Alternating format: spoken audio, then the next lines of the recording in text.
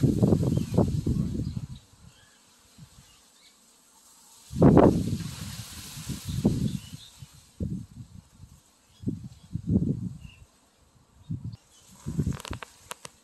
guys, good morning everyone.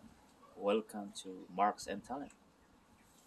Uh, today po, uh, May 25th, 2021.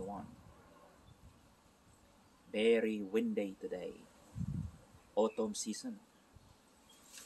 Ang uh, mai-share ko today ngayon uh, about uh, calamansi calamansi, maraming benefits sa calamansi. Uh, vitamins, vitamin C, uh, sa luto, sa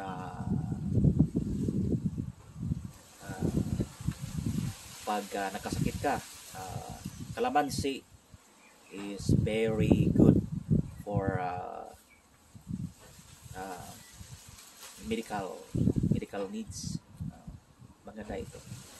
At saka sa pagluto, sa vitamins, marami siyang benepisyo. At ang sikreto magparami ng kalamansi,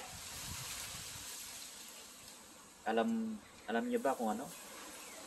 Itlog. Ito po, uh, marami siyang uh, bunga kasi ninalagyan ko ng itlog every 3 months itlog na na bilog, no? Dalawa yan. Yan ang sikreto. So, ang gawin mo, uh, pati yung yung shell at saka yung laman, i-mix sa uh, tubig at lagyan ng manure. Ang labas yan, uh, syrup na. Yan ang sikreto. Tapos lagyan ng konting sugar. Yan. Tapos sa uh, stir nyo. Kaya marami tayong kalamansi. Huh? Bunga oh, dami oh. Oh, grabing wind. ang wind kayo, grabe ang hangin. Anyway, yan ang sikreto guys. So every 3 months yan, gawin nyo. Every 3 months. Ah, uh, ano siya ng 1 liter na tubig tapos sa uh,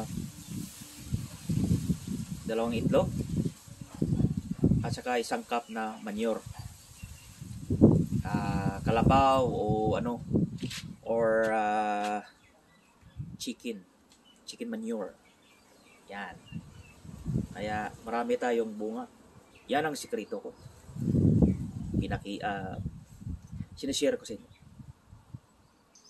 Yan guys, nakita nyo ang resulta no.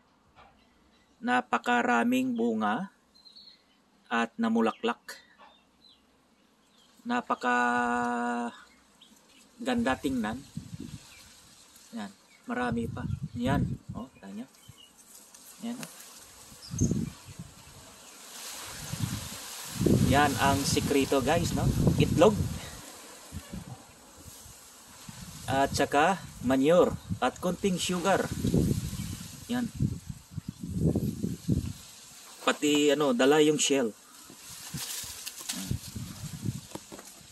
Napakaraming bunga guys. Kaya ang kalamansi maraming benepisyo.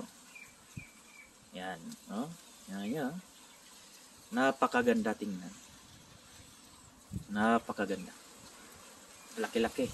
Yan guys. Yan.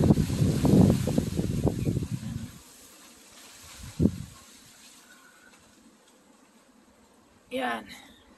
Tapos ito, maraming bunga oh. Kita nyo guys oh. Yan. Grabe oh. Yan. Guys. Yan ang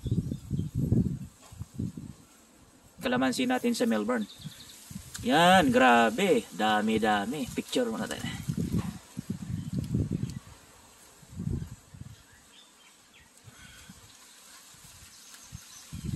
Yan.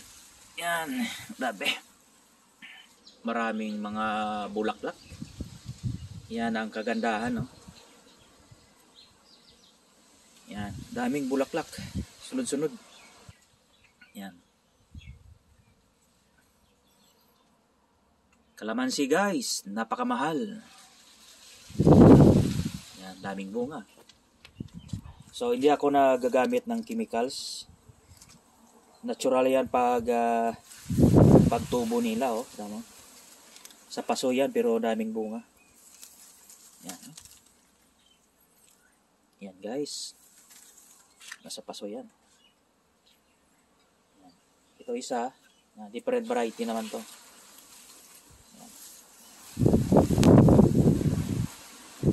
daming bunga. Dito din, sa paso din, no? Kita nyo guys? Daming bunga. Grabe.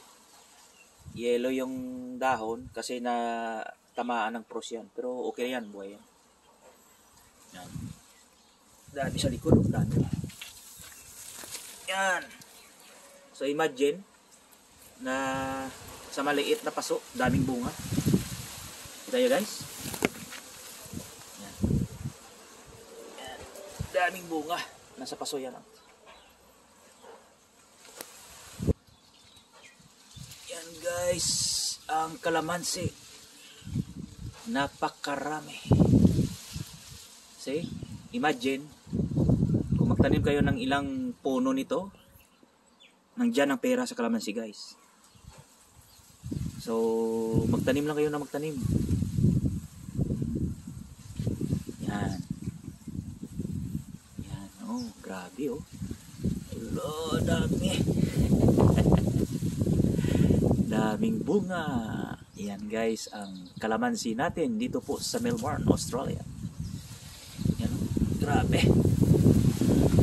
Lord. Grabe, napakahangin ngayon. Mga sigurado to, mga 40 siguro kilometers per hour. Yan guys, ang sikreto ko sa kalamansi, paano magparami ng bunga. Itlog, dalawang itlog, isang litrong tubig, manure isang cup, at saka sugar, dalawang spoon. Haluin na haluin, at yan ang resulta. Napakaraming bunga ang kalamansi natin. Kaya guys, magtanim ng kalamansi at continuous yung bunga all year round dito po sa Melbourne.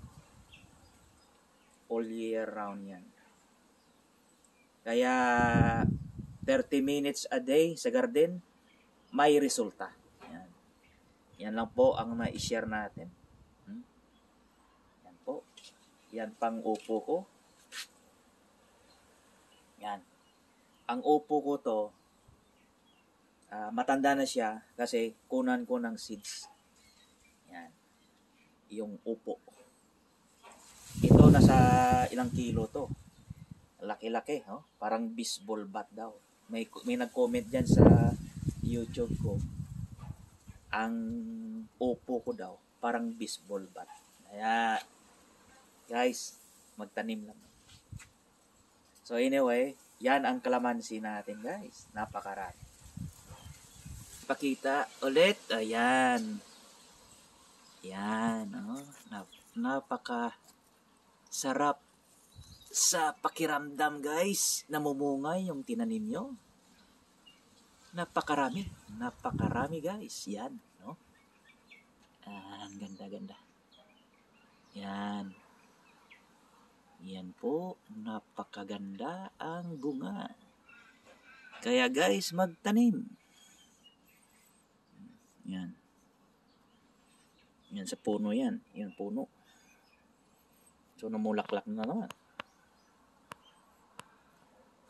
Yan ang kagandahan sa kalamansi. Yan.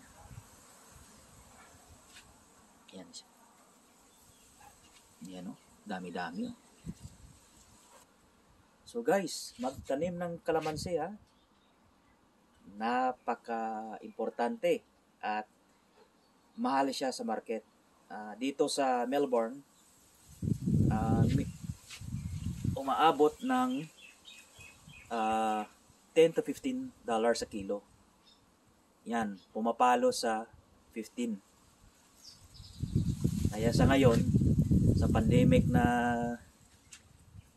ah, sa pandemic, ito po yung sabi nila, kailangan daw kasi kuha ka lang ng isa, lagyan mo ng asin.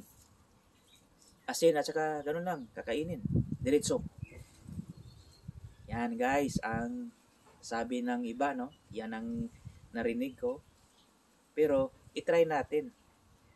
Ah, tapos, ako, pag pupunta dito sa labas, kumakain ako. Yan guys, oh. Yan. Vitamin C. Yan, oh. Mm. Wow. Sarap guys. Mm. Mm. Amis-amis. At masarap. Mm. Sarap siya. Yan guys, ang sikreto natin. Itlog again, dalawang itlog, isang litrong tubig, isang cup na manure, 2 tablespoon na sugar, raw sugar, at i-mix. At ilagay sa ah, puno ng ng ah, kalamansi. Okay guys, at ito pa, ay ipakita ko sa inyo. Isang ah, kalamansi ko sapat. Yan guys. Tingnan niyo yung bunga. Ha? Tingnan niyo. Nasa paso yan guys. Nasa paso. Yan. Yan guys. Yan. Yan. Yan guys ang sikreto ng itlog, manure, sugar. Yan guys.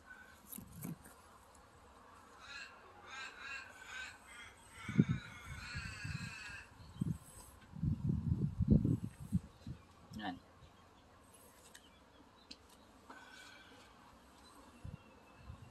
Yan, napakadami.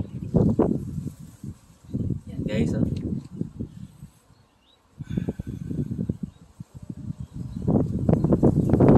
Yan. Eh? Yan guys. Again, kalamansi. Napakaraming bunga. Nasa paso. Dahil guys,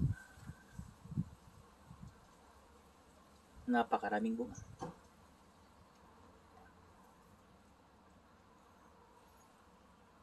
Yan guys.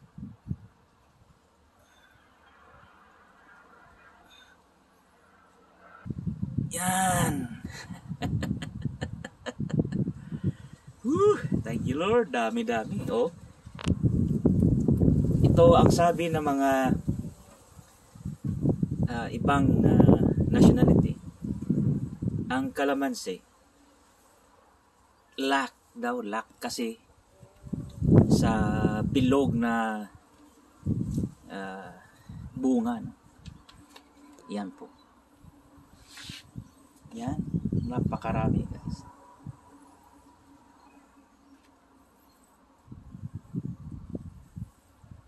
At another one. Another na puno. Oh, yan guys. Oh. Different na puno to. Ah. Yan. At doon sa kabila, dami oh. Yan. Kita nyo guys. Different variety to. Puro bunga na.